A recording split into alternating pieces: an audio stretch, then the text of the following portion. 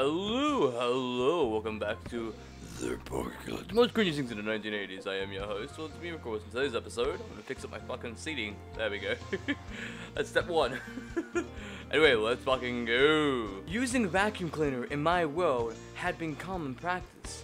Of course, I'd use a cloth for narrow places and for thorough cleaning, but I always finished the majority with a vacuum cleaner. I said don't disturb you, I'm cleaning my room! Maybe I'm just used to that lifestyle, but I feel so limited now that I don't even have one appliance I can use. Finally finished. I slump into the first seat I can find after being released from my cleaning duties. I've got to get used to this analog lifestyle and quick. Ah, hell yeah, you gotta get rid of, you know, you gotta get used to this shit fucking quick smart. I stand up whispering to, to myself, what a wonderful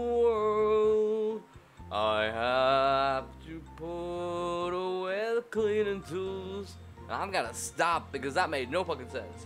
That, that wasn't even catchy. If I wander around the house, I'm sure I'll be able to find Daisy. The first place I should check is probably here. I raise my hand in readiness and calm my breathing as Really, motherfucker? I raise my hand in readiness and calm my breathing as I stand in front of the girl's bedroom. Lupin might be sleeping and Daisy might be changing. I have no doubt that, that I'll be beaten to a pulp the day I catch a glance of her changing. In order to avoid the worst case scenario like that, I knock just in case. Hey Daisy, I finished cleaning. After knocking, I call out, but there's no response. Hello? Can I be like Nickelback from The Shining? Be like, Here's Foggy. I open the door a crack and peek inside, but no one is there. I slowly shut it like Eren Yeager, like I've just seen something that I shouldn't have. I guess she's not here. Seeing that neither of them are sleeping in their beds, I realize that Lupin must be awake too. Motherfucker, it's 12 o'clock in the afternoon. You gotta have your ass up. Well, if I find Lupin first, I can ask her where the storage area is for all the cleaning equipment. Not here either. If Lupin is awake, I would have thought to find her in here. It seems that neither of them are inside. I check outside, but I don't see any sign of them either. Where did they run off to? Could they have gone into town to do some shopping? I'm sure that Lupin would have mentioned it to me if that were the case, although Daisy might leave without saying anything. Hmm? Did I just hear something now? There's no doubt about it. There's a sound coming from the back of the tavern. Maybe it's a mouse? Or it could be a restaurant's ultimate nemesis, a cockroach. Maybe it's a mouse, maybe it's a rat, maybe it's a robber, who knows? But hey, you know what? I can say the word conk and not get in trouble. Conkity conkity conk conk conk. Community guidelines violation. That sounds terrible. Motherfucker! What the fuck you mean that sounds terrible? That sounds terrible as is. The bigger the noise, the bigger the roach, and the bigger the cock. Oh, come on, that's ridiculous. Brushing the image of a gargantuan cockroach from my mind, I tried thinking of other possibilities. Now, real quickly, if someone turns around and says, eh, he said the word wrong, in the comments, I'm gonna turn around and go, bitch, do I look like a fucking dictionary? It would be a monster, right? I joke, but I had the feeling that there's no laughing matter. I mean, my guy, you did go up against, you know, a slime. And, well, yeah, makes sense why you're fucking terrified. I'd be terrified. You know, like, like, let's take every fucking, you know, every game character slash mythological creature of that's that's normally structural in a fantasy world. Bitch, that'd be a fucking mini minotaur. I have no idea how to fight, You got knocked the fuck out, man! and I doubt I'll have a chance if I monster. Because I just realized that if that's the case, and then demons might be here, succubus might be here. Ooh, oh mama. But wait! Oh, mama. Ooh. This is what it's like when I pull out my cockroach, just like a handgun knife. Blow. Hang on. A fee for a breaking sounds.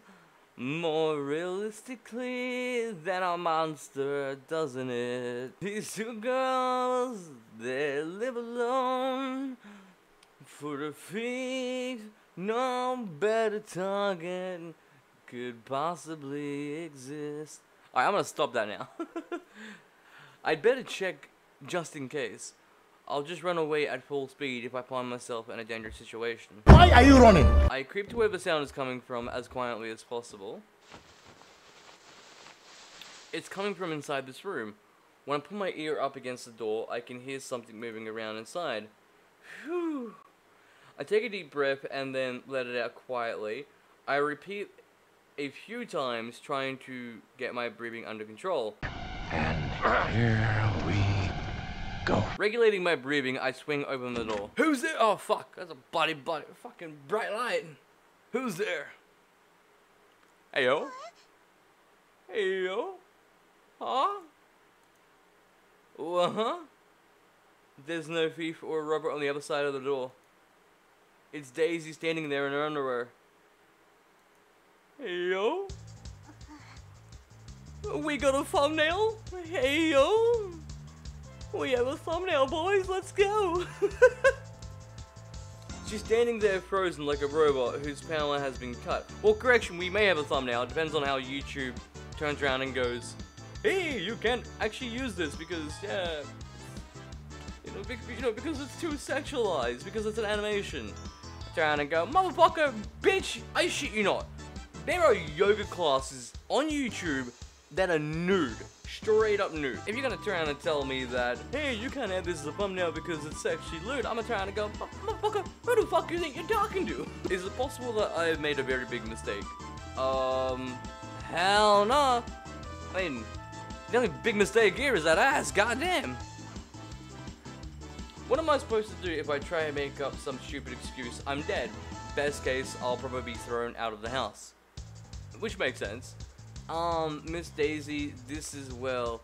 People can be so pathetic, even though I know I shouldn't make excuses. My instinct is to try and protect myself, which is natural. It is natural, especially in today's modern society. You know what? Like, right here, right here, right. If this happened to IRL, right here, boom, he'd be put in jail for life. A poor man. Daisy Twitches, no, we no, we are not doing this on Twitch. We are not doing this on Twitch. In reaction to the words that spill from my lips. I mean, I thought someone might be robbing the house. Twitch? No, no Twitch. Daisy is Twitch. Motherfucker, I said no Twitch. Again in response. That's why I, uh... Hey, where is everyone? I hear Lupin's voice coming from the tavern. Oh, this is where you were hiding. Hey, do you know where Daisy...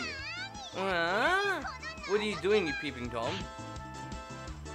The fuck am I peeping Tom? I swang open the damn door. The fucking most retarded fucking peeping Tom I've ever seen. What? What's next? Do I have a big brown coat over? I mean, yeah, I'll just have my fucking, what, my cockroach slung over. Like I'm wearing it like a fucking camo belt. I was kicked so fast I didn't even I didn't even catch sight of uh, of it hits me in the gut. Hang on, wait, hang on, let's do this correctly. Um, there we go. Alright, ready? Ready? A kick so fast that I flew into space. You know, fucking just. Help, Lupin! My balls!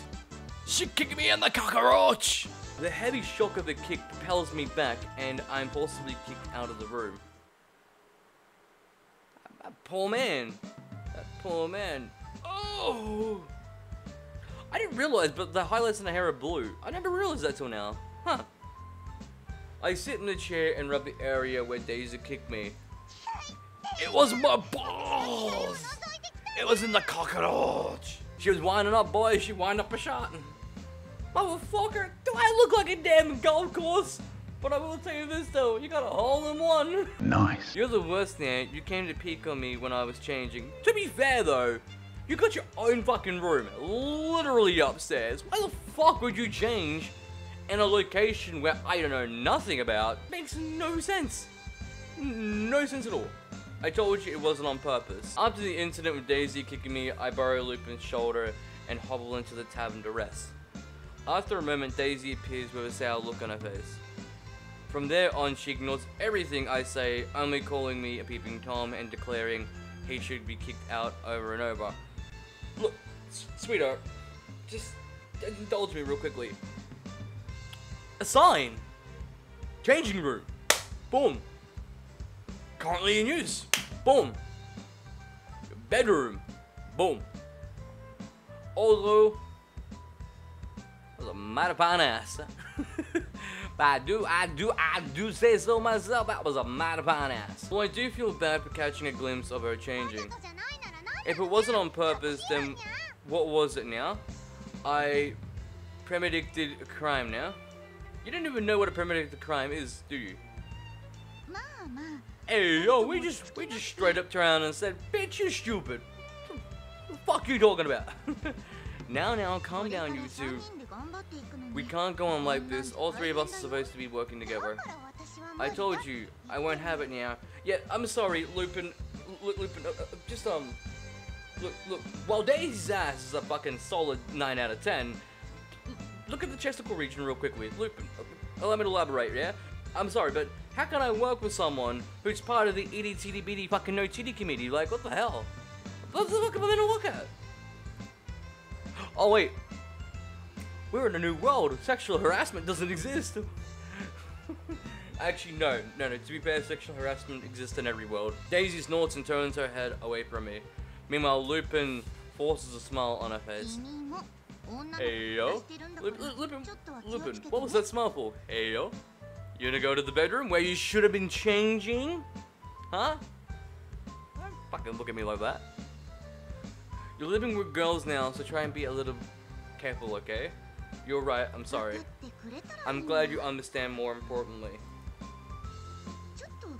I was thinking last night I want to leave all the cooking to you. I don't have to help you out in the hall. Nope. I think Daisy and I can take care of all the service in the hall. In other words, keep your jerk obedient cooking in the kitchen now. Oh, I see. But true, uh, it's true that Lupin and Daisy are more suited to take care of the customers in the tavern than some guy would be.